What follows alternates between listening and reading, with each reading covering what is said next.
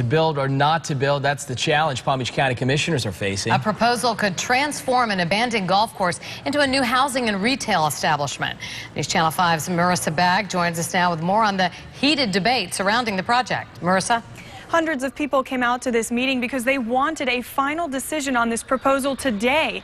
Instead, commissioners put it off again, hoping that in time a compromise would be made. Getting inside the Palm Beach County Commission chambers this morning was near impossible. By 9 o'clock, a line of people weaved around the building. On the inside, chairs were set up last minute to accommodate the overflow.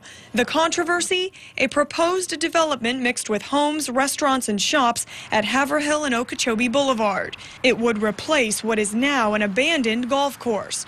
Opponents who live in nearby Century Village armed themselves with signs and speeches hoping to stop the project. I don't want this project here. I don't want to have all the crowds with the people and the cars.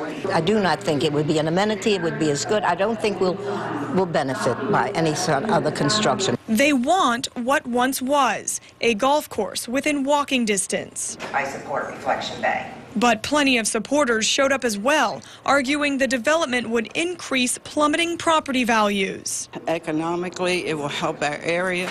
Um, our area is going downhill very, very rapidly. Fearing any decision could lead to a lawsuit, the commission retreated and voted to postpone the proposal until October. That move didn't create any immediate winners or losers, but it did receive sneers from the crowd.